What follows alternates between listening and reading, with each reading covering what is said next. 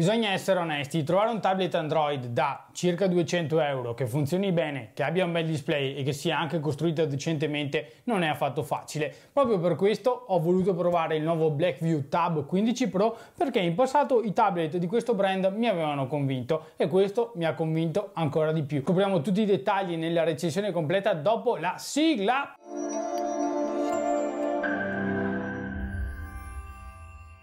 Iniziamo anzitutto col dire che Blackview è famosa per produrre dei prodotti di buona qualità venduti a un prezzo molto interessante, un po' come la Xiaomi dei primi tempi. Nel corso degli ultimi anni ho provato diversi loro dispositivi, questo non è un video sponsorizzato, quindi è una recensione 100% onesta e ne sono rimasto sempre contento. Anche questo Tab 15 Pro è soddisfacente. E partiamo già bene a partire dalla confezione all'interno della scatola di vendita che è insomma abbastanza classica niente di particolare. Troviamo una dotazione di accessori particolarmente completa che comprende oltre ovviamente al tablet una bella cover in silicone a libro che ci permette sia di proteggere il tablet che di utilizzarla come stand per tenerlo in verticale. Troviamo anche una pellicola in vetro temperato che onestamente ho deciso di non applicare però comunque se volete proteggere il display la pellicola c'è, un caricabatterie da 18 watt con porta USB e relativo cavo per la ricarica. Oltre a questo troviamo anche una penna con un punteruolo abbastanza anomalo, è mm, di fatto una penna con una punta piatta, serve qualche giorno di ambientamento per capire come funzioni, come utilizzarla e come impugnarla, niente di trascendentale, una penna abbastanza classica che non ha livelli di input, di pressione o quant'altro Funziona bene se avete le dita grosse o se siete un po' impacciati oppure se volete eventualmente fare qualche firma digitale su dei documenti. Parliamo un po' della costruzione che è uno degli aspetti che mi ha più convinto. Design anzitutto molto minimal, molto pulito, non ci sono fronzoli, non ci sono cagate in giro inutili, c'è tutto quello che serve al posto giusto. Per quanto riguarda la costruzione, come vi dicevo, ottima qualità, tutto costruito in metallo che dona un bel feeling sia visivo che al tocco, è un dispositivo quindi ben costruito che mi è piaciuto. Oltre ad essere ben costruito ha degli elementi ben disposti, troviamo sul lato tasto di accensione e spegnimento, bilanciere del volume, sul retro fotocamera con led, poi sui due lati corti troviamo quattro speaker quad box stereo di buona qualità, una porta USB-C, un jack audio da 3,5, sempre il benvenuto, poi frontalmente troviamo un'altra fotocamera e un led di notifica. Sotto il punto di vista costruttivo è quindi davvero ben fatto, si lascia ben impugnare grazie allo spessore ridotto di soli 7,3 mm, pesa circa 500 grammi e quindi ha una buona ergonomia e si lascia impugnare ed utilizzare senza difficoltà e senza mai pesare troppo quando siamo sul divano e stiamo cazzeggiando. Parliamo un po' di hardware, al suo interno c'è un processore che non ho onestamente mai sentito nominare, è un processore Unisoc T606 octa-core, ci sono poi 8 GB di RAM espandibili virtualmente a 14 e 256 GB di memoria interna espandibile tramite il carrellino per la micro SD di un ulteriore terabyte. Per quanto riguarda RAM e memoria interna direi che siamo tranquillamente a posto. Il processore è forse un po' il collo di bottiglia di tutto quanto il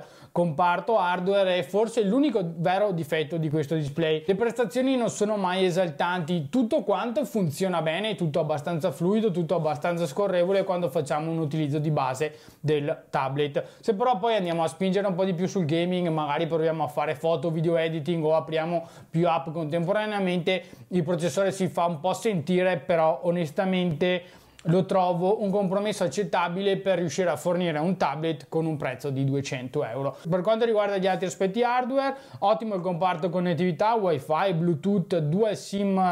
4G con la possibilità di utilizzare una nano SIM ed una micro SD oppure due nano SIM contemporaneamente. Potete anche effettuarci le chiamate, quindi è un tablet sotto il punto di vista della connettività completo. C'è anche un sistema di navigazione GPS ben funzionante, la compatibilità con Android Auto, LED di notifica di cui vi parlavo prima ed il supporto all'USB OTG, quindi potete eventualmente collegarsi hard disk esterni, tastiere mouse e trasformarlo in un piccolo computer. Non male poi come vi dicevo il quadruplo speaker stereo che funziona benone, ha un buon volume massimo più che sufficiente per guardare un film, una serie tv o ascoltare un po' di musica senza problemi e senza avere la necessità di collegarsi a una cassa bluetooth esterna. Parliamo un po' di display che è uno dei punti più convincenti. Abbiamo un bel display da 10,5 pollici con risoluzione Full HD Plus da 1920 x 1200 pixel Ha una luminosità massima di circa 360 nits, che non è un valore elevatissimo, però nel complesso secondo me questo è un bel display.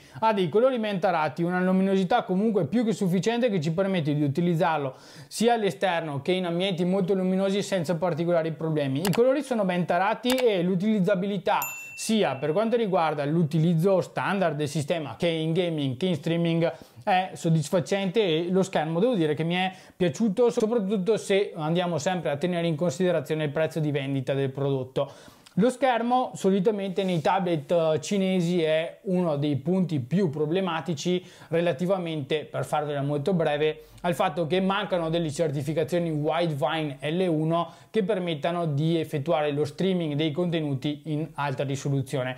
Uh, molti tablet cinesi hanno il Widevine L3, quindi tutti i contenuti sono sgranati, brutti da vedere, Qui troviamo una via di mezzo, c'è un Widevine L1 non compatibile con tutte le applicazioni, quindi potete godervi in Full HD eh, Disney Plus, Prime Video, tante altre applicazioni, ma ad esempio non funziona su Netflix. Quindi per lo streaming funziona molto bene con le applicazioni compatibili, con le altre funziona altrettanto bene, ma dovete accontentarvi di una risoluzione un po' più bassa che rende comunque i contenuti godibili ma insomma un po', un po', meno pregiati dal punto di vista visivo. Prima di parlare dell'esperienza d'uso parliamo velocemente delle fotocamere, i tablet non sono fatti per fotografare, quindi se vedete una persona che va in giro e fa delle foto con un tablet probabilmente non ha capito cosa ha comprato. Comunque tornando a noi, fotocamera posteriore da 13 megapixel sufficiente diciamo per una foto fatta al volo per fare la scansione di un documento, per inquadrare un QR code, funziona bene, fa il suo dovere, niente di trascendentale. Poi frontalmente invece fotocamera frontale di Samsung da 8 megapixel che funziona bene, ci permette di fare delle videochiamate e dei selfie di qualità più che sufficiente e poi ci consente anche di utilizzare il riconoscimento facciale per lo sblocco del dispositivo. Ma andiamo un po' più sul concreto e parliamo di come va e di esperienza di utilizzo. Anzitutto va detto che il sistema operativo è basato su Android 12 con la personalizzazione di Blackview che si chiama DocOS P3.0. Di fatto è una versione molto simile ad Android stock, quindi all'Android pulito che troviamo sui tablet di Google, con l'aggiunta di qualche personalizzazione qua e là grafica e relativa alla privacy. Non ci sono tante applicazioni preinstallate, quindi trovate un software pulito prestazionale più che sufficiente. Nell'utilizzo quotidiano devo dire che mi ha soddisfatto, nel tempo libero si comporta molto bene in navigazione, per le applicazioni, per i social, per tutto quello che riguarda il cazzeggio e l'utilizzo nel tempo libero si comporta in maniera soddisfacente, le applicazioni si aprono, funzionano bene, non ci sono mai intoppi, rallentamenti o ritardi particolari che vanno a rovinare la nostra esperienza utente. In gaming dipende un po' da quanto spingete sulle prestazioni, però se riducete un po' le pretese lato grafico sicuramente riuscite ad avere un'esperienza più che godibile. E poi c'è la vera chicca per chi vuole utilizzarlo per studiare e lavorare che è la modalità PC. Lo trasforma in un PC portatile simile a Windows o a Chrome OS, ci permette di avere un'interfaccia molto simile a quella di un computer, di avere due, quattro o più finestre a schermo e quindi di utilizzarlo per lavorare o per studiare più documenti aperti o più applicazioni aperte contemporaneamente. E devo dire che in questo settore secondo me ha trovato un punto di svolta perché grazie proprio a questa modalità riusciamo a trasformarlo in un piccolo PC e a dargli delle funzionalità in più e a migliorare l'esperienza di utilizzo che va oltre quindi alla semplice modalità di utilizzo nel tempo libero che facciamo tutti quanti dei nostri tablet. Quindi proprio grazie a questa modalità PC riusciamo anche ad utilizzarlo per qualche scopo professionale in più con soddisfazione. Per quanto riguarda tutto l'utilizzo quotidiano, giornaliero, lavorativo e uh, per lo studio devo dire che si comporta molto molto bene e ne sono rimasto molto contento. Sono rimasto molto contento anche della batteria, 8280 mAh di capacità ci fate tranquillamente 10-12 ore di schermo acceso senza particolari problemi. La ricarica è un po' lentina, due ore e mezza circa per una ricarica completa utilizzando il carico batteria in confezione, ma nel complesso un'autonomia più che soddisfacente e che è andata onestamente anche oltre a quelle che erano le mie già alte aspettative per i tablet di Blackview. Prima di concludere parliamo un attimo di prezzo e vi svelo una piccola chicca per voi fan di Out of Beat e per tutti gli altri che non sono fan ma che stanno vedendo questo video. Il tablet viene venduto a 239 euro su Amazon per la quasi totalità dell'anno, è disponibile con un coupon sconto di 50 euro, quindi potete portarvelo a casa a 189 euro, ma fino all'11 giugno potete utilizzare il coupon che vi lascio qui sotto in descrizione per un ulteriore sconto del 7% e quindi portarlo a casa a circa 180 euro che è davvero tanta tanta roba. Comunque a 189 euro questo è davvero un best buy perché è assolutamente un tablet completo. Andando quindi a concludere il Blackview Tab 15 Pro secondo me